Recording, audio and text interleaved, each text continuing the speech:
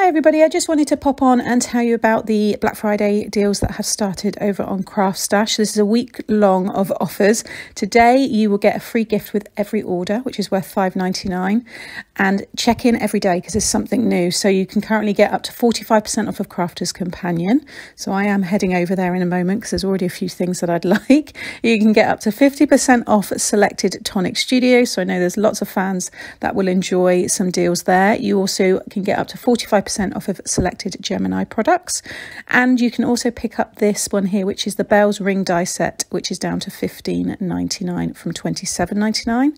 And there is also up to 45% off of selected Sizzix products. So there's lots going on. This is just the kickstart. Check in every day. I will link everything below, and I hope you get some bargains. Bye.